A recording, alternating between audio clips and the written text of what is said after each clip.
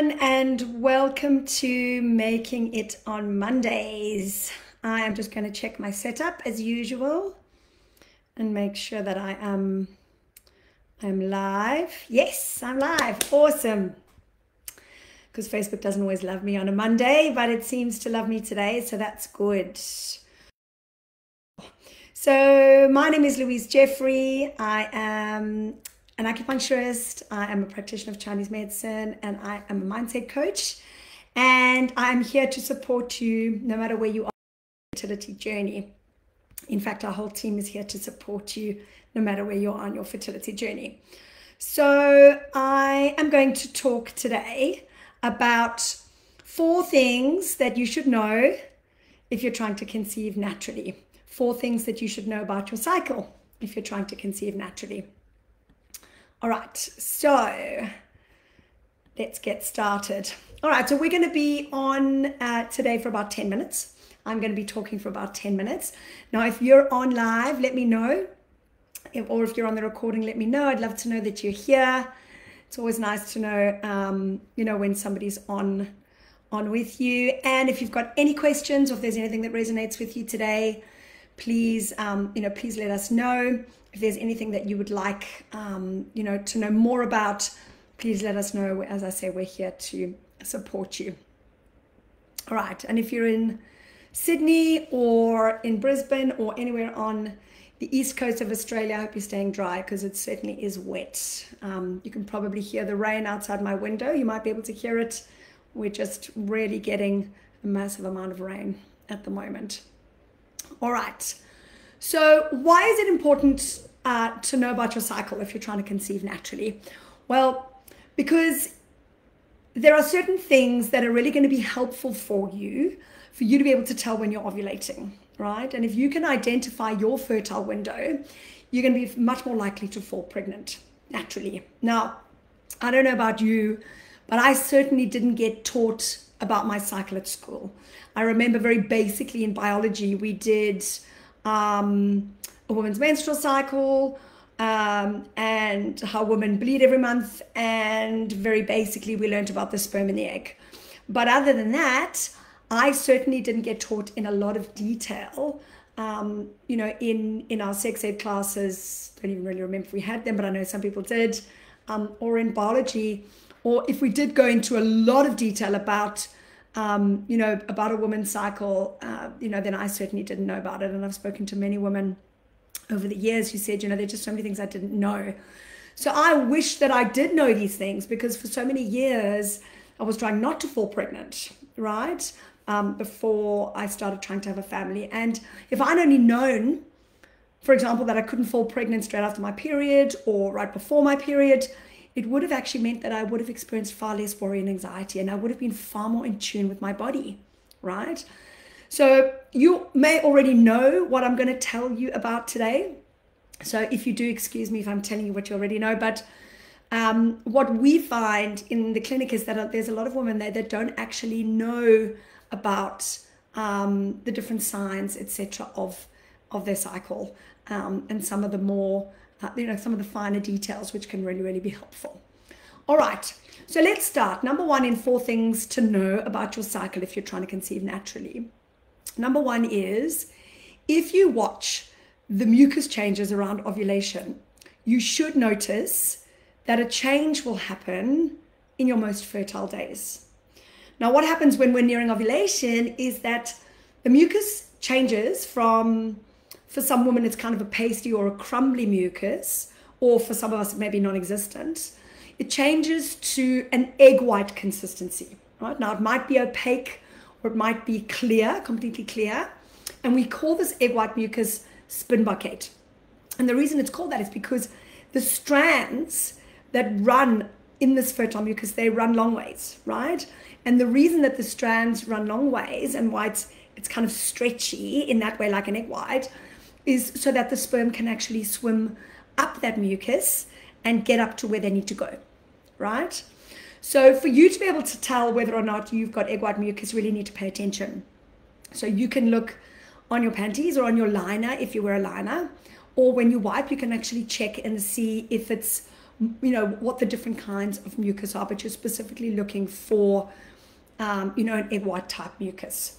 Now, if there's enough, you can actually, um, you know, you can actually feel that it's an egg white mucus, but if there isn't, then, um, you know, then as I say, you'll just be able to see it, you know, on your panties or on your liner or when you wipe. Now, not every woman will have significant mucus changes, and that doesn't mean that you won't fall pregnant or that you can't conceive. Um, but for a lot of women, you'll actually notice if you pay close attention that the egg that the mucus will change to um, to egg white. Okay.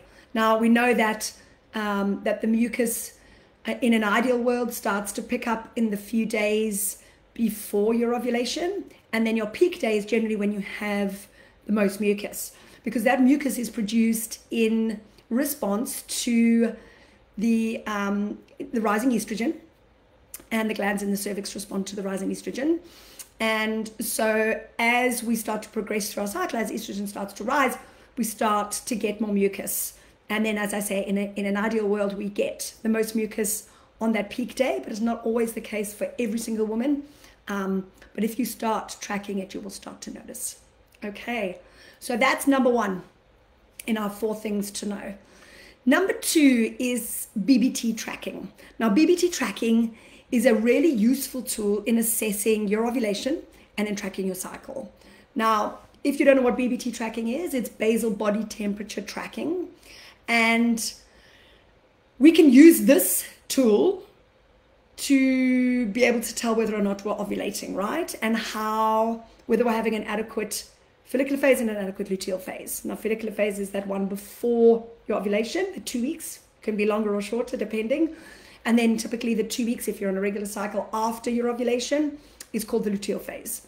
Now, if in a in a um, you know if you're one of those women who has a, a, a really clear clinical picture on your basal body temperature chart, you will have a 0.2 to 0.3 rise at ovulation in your basal body temperature. Okay. Now, how we take our basal body temperature is that we use either a vaginal or a mouth thermometer. Um, now, a vaginal uh, thermometer is actually typically more accurate. So, if you go into your pharmacy and you ask them for an ovulation um, thermometer and ask for the vaginal one, it's often it's often more more accurate, right? Um, so you take that vaginal, that mouth thermometer, and you're actually going to take your basal body temperature before you get out of bed every single day at the same time.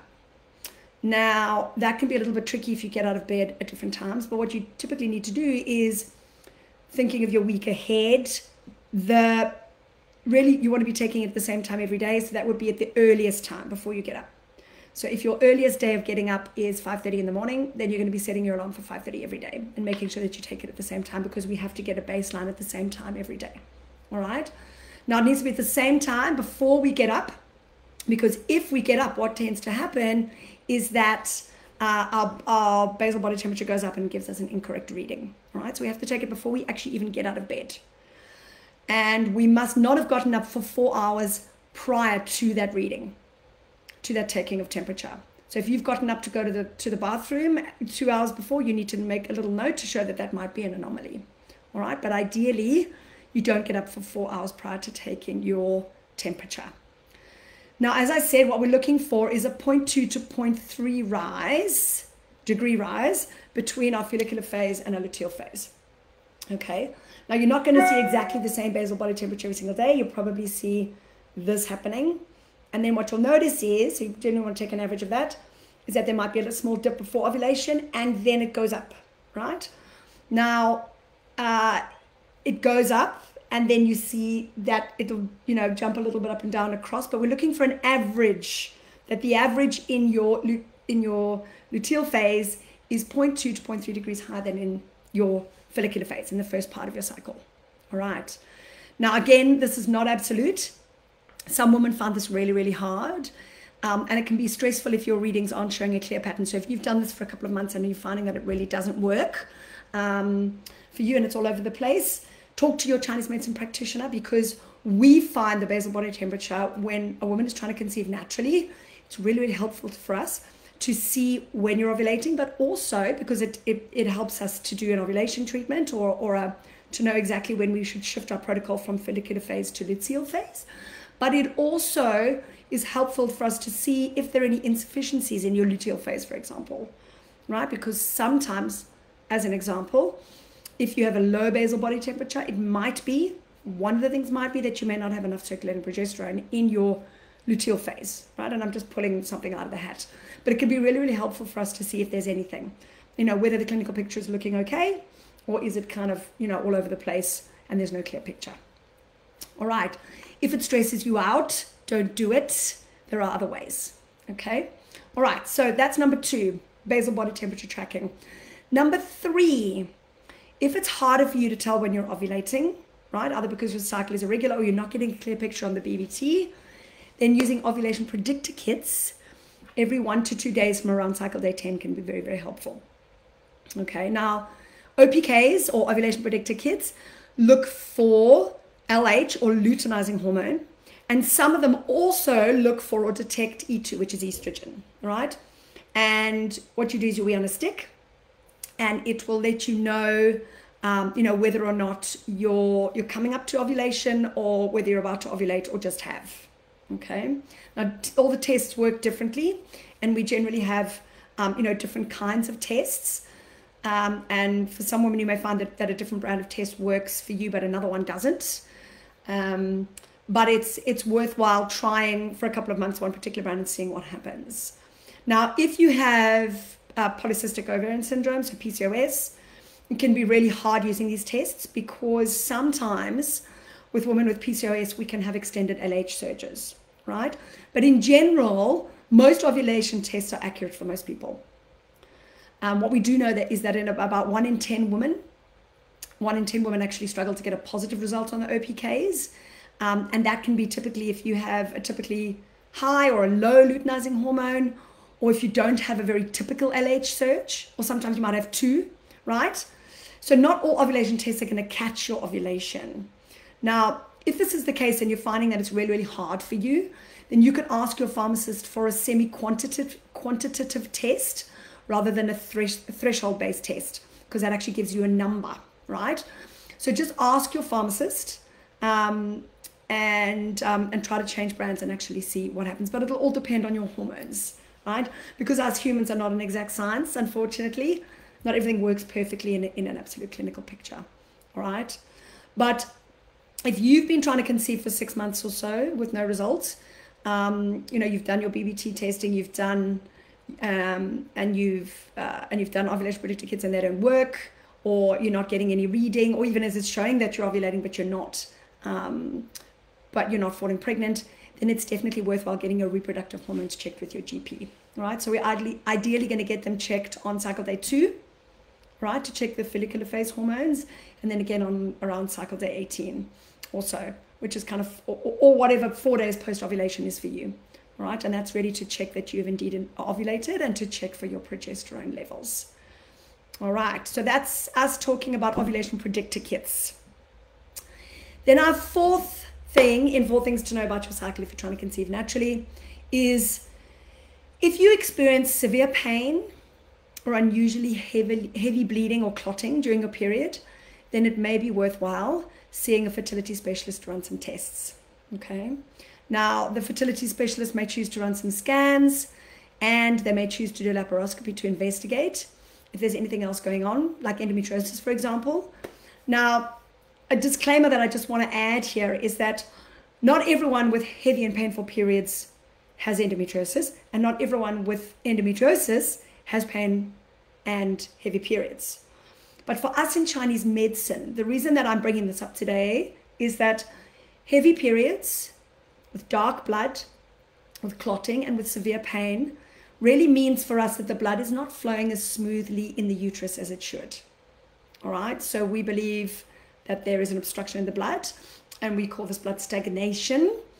And so we will use certain acupuncture points protocols, all right, um, particularly in this in the um, or different things in, in in the first part and the second part of your cycle and we may well use blood moving chinese herbs right to help reduce the pain and smooth the flow of blood because for us it's really really important that the flow of blood is is is smooth and adequate All right.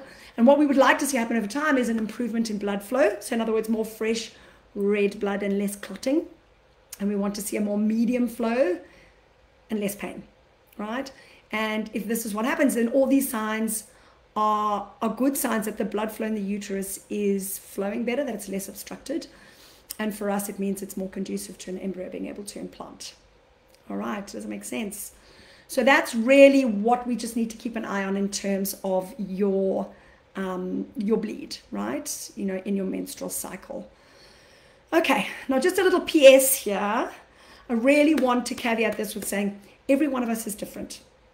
And not all women fit the clinical picture that I have described in terms of the BBT, the OPKs, um, you know, and uh, you know, and the and the bleeding. All right, for example. So so some women may have heavy bleeding, lots of pain, clotting, and they still manage to fall pregnant fine. Okay, but these are definitely things that we just want to keep an eye on.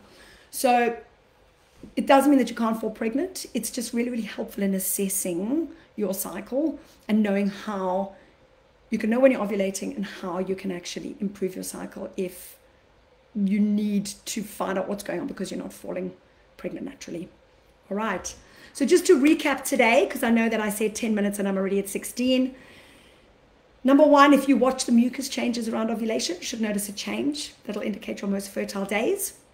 Number two, you can use BBT tracking. It's a very useful tool in assessing ovulation and tracking our cycle. And we can give you, you can either download an app or we can give you a printed out sheet where you can plot it on a graph if you like to see it visually and you like to, to write it down. I used to do that and I, and I found it so incredibly useful. Um, number three, if it's harder for you to tell when you're ovulating, you can use OPKs um, and use them generally every one to two days from around cycle day 10. And then the fourth thing, in four things to know about your cycle if you're trying to conceive naturally, if you experience severe pain or unusually heavily bleeding, heavy bleeding, during your period, then it might be worthwhile seeing a fertility specialist, run some tests. And obviously, your acupuncturist or your Chinese medicine practitioner, if you're seeing one, will ask you a whole lot of questions around this and then treat you accordingly. So, if you've got any questions, let us know, or any suggestions in terms of what you want to hear more of. Um, you know, please let us know. Or if there's anything around what I've said today that you'd like me to expand more on, um, you know, please let us know. I'd love to hear from you guys. I hope you have a beautiful week and I will see you next Monday. Bye for now.